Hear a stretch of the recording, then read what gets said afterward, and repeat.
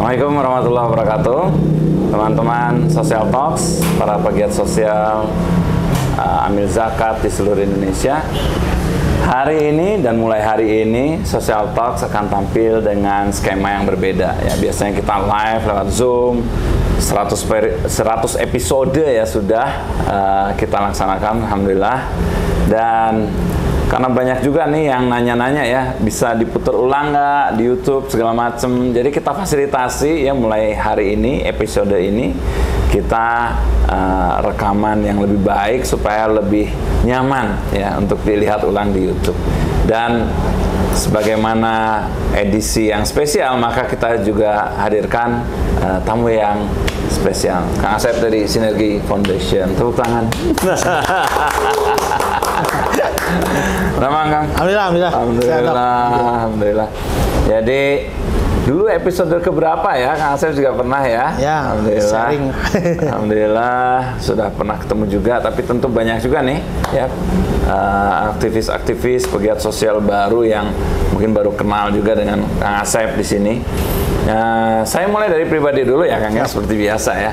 Boleh cerita nih Kang sampai akhirnya eh, di Sinergi Foundation tuh gimana sih ceritanya? Ya, saya sekolah lulusan STM. STM? STM ya, jurusan listrik. Cita-citanya ingin kerja di PLN. Oh, atau iya, PTND lah dulu. Iya, iya, iya. Ya, tapi ternyata dunia kerja itu tidak semudah yang dibayangkan waktu sekolah ya. Lulus tahun berapa itu STM kan? 95. 95 ya? 95 coba melamar ke sana kemari ternyata susah. Sampai ke pabrik juga susah. Akhirnya saya diterima di pabrik eh, dengan lulusan STM sebagai office boy. Wow. lima bulan 10 hari sebagai menyandang sebagai office boy. Yang kerjanya ya nyuci toilet, menghidangkan air minum, nyapu, ngepel lah gitu ya. Nah di 5 bulan 10 hari, Alhamdulillah dapat promosi, dipilih suruh pilih.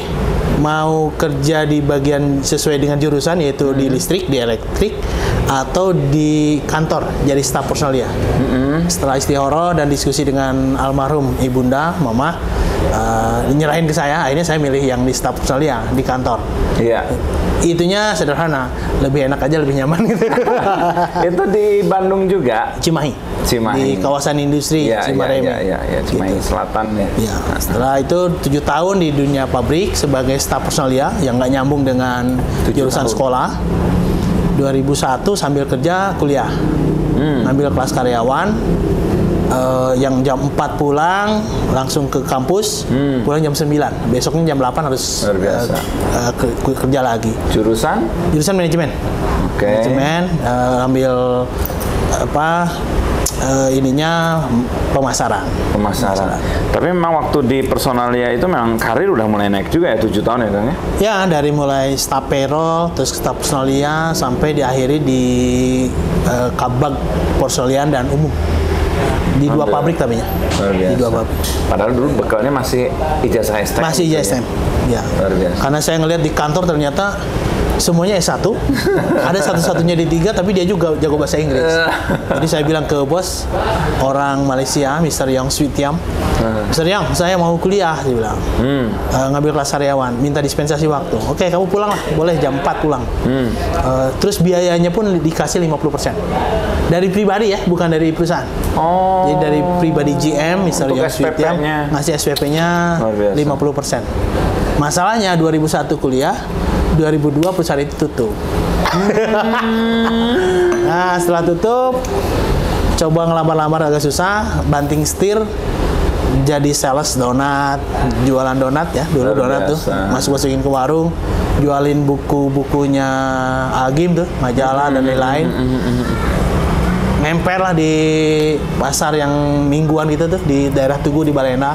Oke. Eh, jadi pencatat meteran listrik juga Luar yang biasa. dibayar per titik saya seribu rupiah. Jadi surveyornya minyak tanah juga pernah. Luar biasa. Itulah kehidupan. Itu eh, langsung stop kuliah atau lanjut? Masih lanjut? Kuliah lanjut karena saya memilih dari sempat diterima kerja lagi di satu pabrik, pabrik yang ketiga, tapi dia tidak memberikan dispensasi waktu. Yes. Ya wajar juga karena saya baru kan. Iya. Akhirnya saya harus memilih dan waktu kuliah di perusahaan yang ketiga ini eh, IPK saya IP ya, IP saya jatuh 2,5 gitu. UTS nggak ikutan. Nah itulah pilihan hidup yang saya harus ngambil keputusan.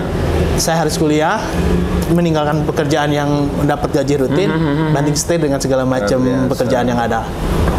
Masa-masa sulit ya. Ya, gitulah. Udah nikah belum waktu itu?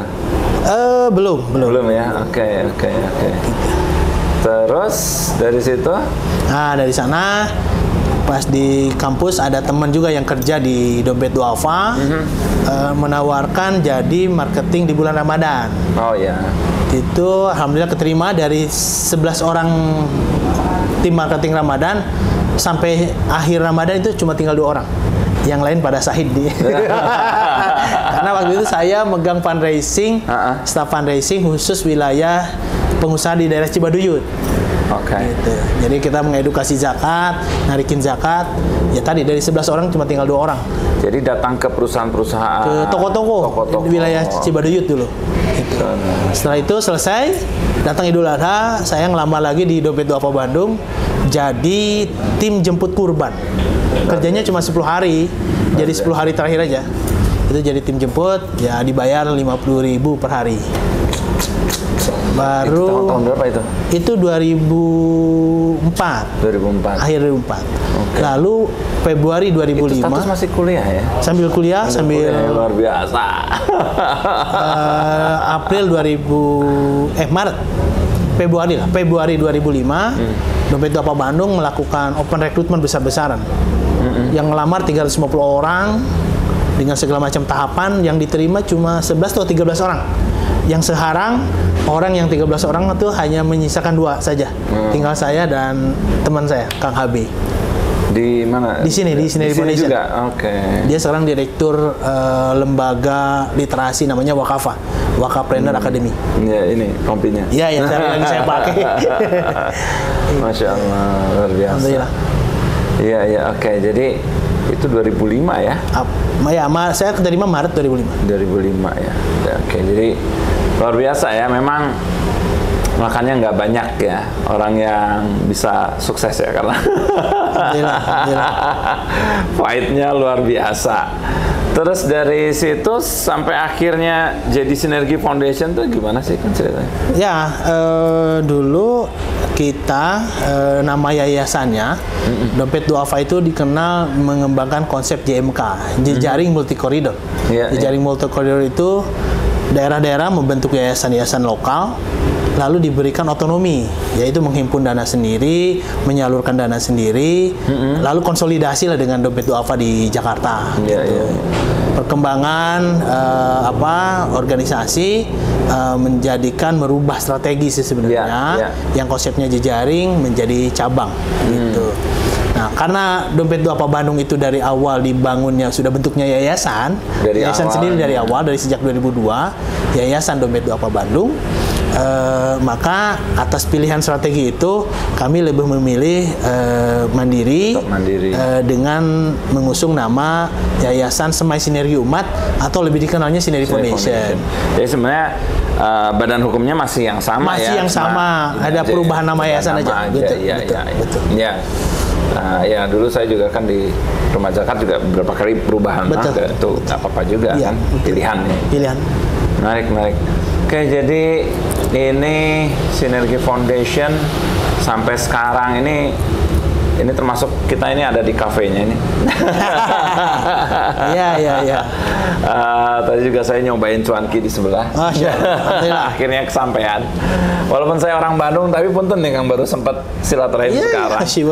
Jadi boleh cerita nih eh, capaian-capaian yang udah diraih sejauh ini Sinergi Foundation supaya jadi inspirasi buat teman-teman yang lain. Ya, jadi sejak 2011 sebenarnya si Yayasan Semai Sinergi Umat ini bikin direktorat, Mhm. namanya Direktorat Wakaf, eh, bernama Wakaf Pro 99. Oke. Eh, dan membeli bangunan ini nih kita ada di lahan wakaf yang sudah dibebaskan sejak 2011 dari dana wakaf ya. Ini gedung ini luas tanahnya 3 500 meter persegi, tiga lantai, ada sebagian ruangan yang kita sewakan ke pihak luar. Mm-hmm. Lalu bagian besarnya dipakai untuk operasional teman-teman bagian program penyaluran. Iya. Gitu juga ada eh, teman-teman dari Wakafa, eh, entitas eh, apa bagian kaderisasi dan literisasi. Lalu juga ada dua unit usaha Hmm. yang basisnya wakaf produktif. Ini kita ada di Kopi High. Iya. Ini kopi shop pertama berbasis wakaf produktif dari Sini Foundation. Ya, ini semuanya wakaf. Gelas, garpu semuanya dari dana wakaf. Yes, Ya, termasuk mesinnya juga dari wakaf. Nah, keuntungannya ini 90% untuk program-program sosial. Hmm. Pengelolanya ya orang profesional yang Yes. dia memang sudah punya kapasitas di bidang ngelola kopi ya, Mhm. Eh, kopi kopi shop gitu. Nah, polanya bagi hasil.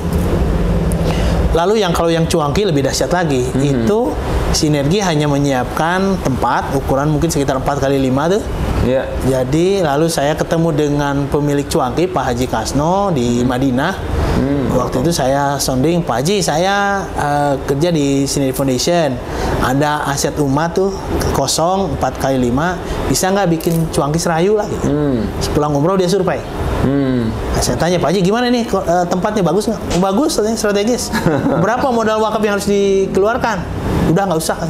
Ini saya aja. Jadi itu semua sendok, garpu, kanopi, roda, katel, semuanya dia yang yang wakaf. Allah, luar biasa. Yang membuat yang paling keren lagi adalah dia memberikan hasilnya itu 30% dari omset. Dua, 30%. dua tahun pertama itu 30% dari omset. Jadi omsetnya rata-rata 200 juta. Gitu. Jadi kesinerginya bagi hasil wakafnya luar itu biasa. 50 sampai 60 juta per bulan. Per bulan ya? Per bulan. Luar biasa dari cuanki. Nah, 50 Jadi bisnis itu nggak perlu keren-keren amat ya sebetulnya. Yang penting hasilnya yang keren. Jadi ada dua dua ini bisnis tuh. Ada yang high performance low profit, Ah. ada yang low performance high profit. gitu, Dan gitu. itu yang tipe tadi ya low performance. Ya itu low profile ya. kan hanya roda Iya, gitu ya, iya, iya, tapi iya. memberikan dampak kepada masyarakat mau kufalai itu dahsyat. Jadi dan itu memberikan kontribusi untuk menjenggalkan sebuah lembaga pendidikan gratis Hmm. bernama Kutab Al Fatih yang itu kita dedikasikan gratis buat untuk semua kalangan. Anak orang kaya gratis, untuk orang miskin gratis. Saya udah sering dengar Kutab Al-Fatih. Ya. Ternyata dari sini Ya, ya. salah satu kutab yang di yang ada di Cileunyi. ya. Salah satunya dari Cuanki, lalu juga ada yang dari rumah makan Ampera Pasteur. Iya, iya, iya. itu iya. juga uh, rumah makan pertama brand Ampera berbasis wakaf produktif. Hmm, Masya Allah. Di mana kita ingin sebenarnya menghadirkan konon kata ahli sejarah, Hmm. katanya dulu itu waktu jaya-jayanya peradaban Islam itu jangankan orang miskin gitu. Konon katanya orang kaya pun bisa gratis menikmati semua fasilitas eh, kehidupannya. Dari mulai sejak lahir, sekolah, bekerja, bahkan sampai meninggal. Nah, SF itu bukan gaya-gayaan ya. Kita ingin merindukan aja. Betul, betul, betul. Bernostalgia, ingin ikut berkontribusi membangun peradaban Islam itu dengan spirit wakaf, menghadirkan apa? Entitas-entitas yang memberikan kontribusi positif buat menyelesaikan permasalahan umat dari mulai lahir sampai meninggal. Maka untuk lahirnya kita bikin namanya rumah bersarian cuma-cuma. Hmm. Iya, Sudah iya, 17 betul. tahun biasa. membantu kurang lebih 10.500 anak yang sudah dilahirkan di sana. Masya Allah. Termasuk dengan orang yang harus dirujukan sesar gitu, Dok. Iya, iya, iya, iya. Karena kan ngurusin orang duafa itu kompleks ya. Hmm. Pendidikannya rendah, Betul. lalu kesehatannya juga rendah, gizinya buruk gitu. Lalu sirkulasi rumah dan lain-lain juga eh, merepotkan lah. gitu. Sehingga Hmm, Rentan itu persentase eh, untuk rujukannya re- sangat rentan besar sekali. Persis. 15 sampai ma- 13 sampai 15 persen. Tapi karena mereka sudah kita verifikasi dan mereka berhak mendapatkan haknya berupa dana zakat, sampai tindakan sesar pun kita bayar Hmm, Masya Allah. 100 persen. Alhamdulillah. Iya, iya, iya. Nah, itu jadi sejak lahir sekolah ada Kutab Al-Fatih, mimpinya nanti untuk level menengahnya ada SMP SMA-nya gitu yang gratis juga. Eh, untuk bekerja, alhamdulillah kita sudah beberapa melahirkan beberapa perusahaan berbasis wakaf di bawah biasa. naungan Wakaf Pro 99 Corporation.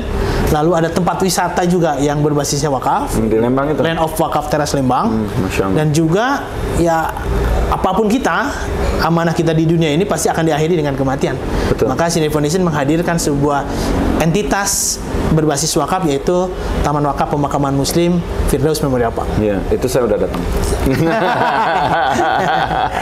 Dan satu lagi ya di daerah ujung Berung sana ya ada. Ya, itu yang kedua. Iya, iya. Firdaus Memorial Park yang kedua, nggak besar, kecil, kapasitas eh, sekitar 700 wakif dan alhamdulillah wakifnya sudah full. Terpenuhi. Sekarang kami lagi mengembangkan ke Bogor. Jadi Firdaus Memorial Park yang ketiga di Bogor, 2 hektar yang sudah kita bebaskan. Ini kapasitasnya sekitar 2.800 wakif. Eh, sedang terus berproses kita edukasi untuk khususnya untuk para wakif yang ada di Bogor sekitarnya. Mimpinya lima tahun ke depan kita akan siapkan fasilitas pemakaman ini sampai 50 hektar. Hmm. Insya Allah. Amin, amin, amin. Jadi memang sekarang Sinergi Foundation itu memang sedang fokusnya ke wakaf atau memang mengarahkan ke wakaf dari donasi yang atau infak yang di apa amanahkan terus eh, apa diarahkan ke sana atau gimana? Ya, jadi ini pilihan kami Ya. dalam uh, menjalankan Amanah, ya. organisasi Betul. uh, lebih menguatkan positioningnya di wakaf.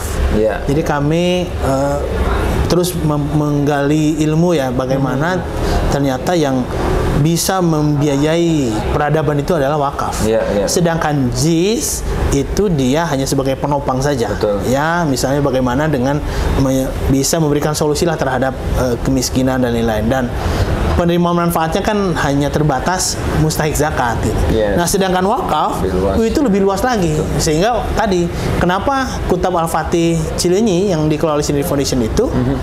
itu penerima manfaatnya maukuf alaihnya dia bukan hanya maukuf ma- mustahik zakat, tapi dia lebih luas. Sehingga tadi anak orang kaya juga gratis, anak orang miskin apalagi gitu. Hmm. Iya, iya. Gitu iya, dong. iya. Insya Allah. Baik, baik. Ini semakin menarik ya dan kayaknya banyak hal yang harus digali lebih dalam memang. Tapi mungkin dikerucutkan begini Kang.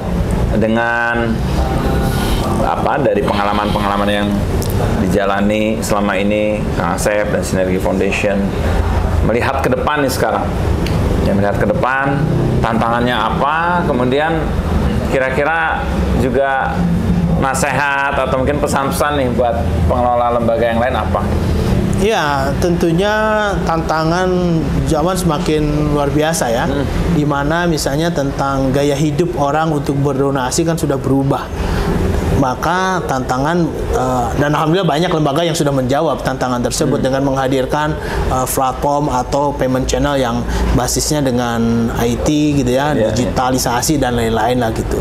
Meskipun eh, apa di sana banyak juga catatan Betul. bahwa kita itu dalam menghimpun dana masyarakat itu bukan hanya sekedar besarnya saja yang dihimpun gitu. Tapi dana yang dihimpun itu memberikan dampak atau berkontribusi menyelesaikan permasalahan umat sejauh apa. Yes. Kalau hanya sekedar besar menjadi salah satu sandaran, maka boleh jadi para pendatang baru itu dia menjadi winners, ya. Tapi sekali lagi bukan hanya itu saja. Ya. Bahwa itu penting iya, gitu ya. Tapi kita harus sama-sama memikirkan bagaimana dari dana yang diamanahkan ke lembaga kita itu bisa berkontribusi, bisa men- meskipun setitik bisa menyelesaikan masalah terhadap problematika umat. Iya. Itu satu. Lalu yang kedua, eh, kita harus sama-sama eh, saatnya gitu berkolaborasi, bersinergi untuk menyatukan kekuatan umat ini untuk membangun sebuah mimpi besar itu program-program yang sifatnya bukan membuang kebaikan pada semak-semak lah gitu ya. Jadi harus membangun sebuah mimpi besar. Ini di dunia pendidikan dana zakat ini mau dipakai apa sih ya, gitu? ya, ya, ya. Kan sudah banyak juga sebenarnya lembaga zakat misalnya ya apa dengan menghadirkan entitas-entitas pendidikan gitu. Tapi kita juga harus eh, lebih hal yang lebih substansial lah gitu terhadap mengcreate sebuah program yang seharusnya dengan dana yang sangat terbatas itu kan kita bicara potensi sangat besar, tapi yang Iya, iya. tergali kan ya masih segitu-gitu aja. Gitu. betul Maka sekali lagi dengan sumber dana yang ada terbatas itu kita harus menggagas, mengcreate sebuah program yang secara dampak memang sangat signifikan buat buat buat masyarakat. Iya, iya, iya. Karena banyak kemarin ada eh, diskusi dengan teman-teman di Forum Zakat Jabar itu ya. Eh, Kasep saya kok setiap tahun kayak yang lembaga itu harus terus saja berlomba-lomba iya, nyari iya, uang iya. setelah itu habis lagi gitu. Dan dia sendiri yang bilang merasakan dampak ke masyarakatnya Kurang juga. kurang gitu. Ya, maka sekali lagi ya ini memang jadi PR besar ya. PR besar bagaimana kita yang diamanahi di lembaga itu bisa mengkreat, menggagas sebuah program meskipun dia enggak terkesan banyak gitu.